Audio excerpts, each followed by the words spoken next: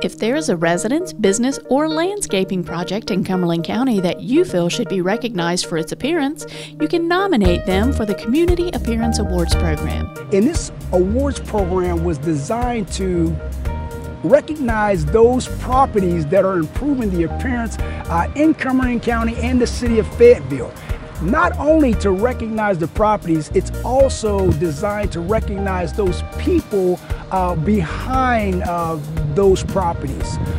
The Joint Appearance Commission would like your help in identifying and nominating properties in Cumberland County that are improving the appearance of our community.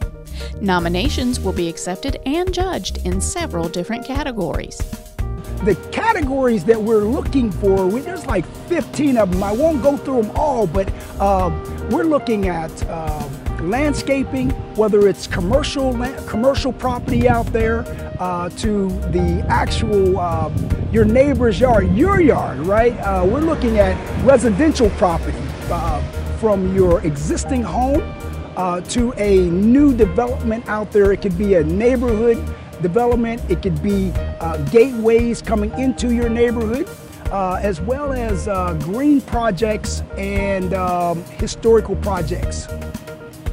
If you know a property uh, that that you would like to nominate. That means a property that you may go by and you say, you know what, that's a beautiful place. Uh, if you know a property that is uh, that that is in your neighborhood. We are accepting nominations right now. We actually are taking them all the way until the 1st of June. So you have until June 1st to get those nominations in.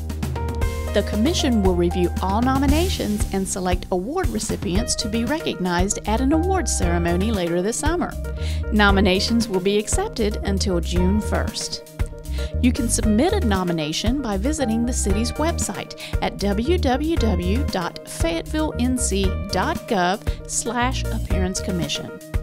If you prefer to mail in your nomination, you can download the form along with a brochure and complete instruction.